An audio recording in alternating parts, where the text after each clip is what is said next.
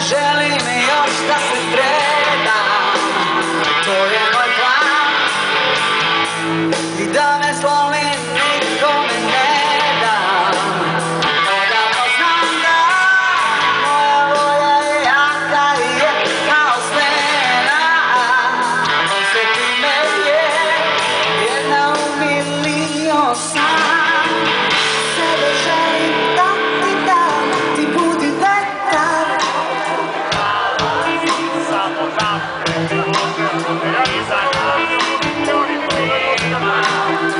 she let her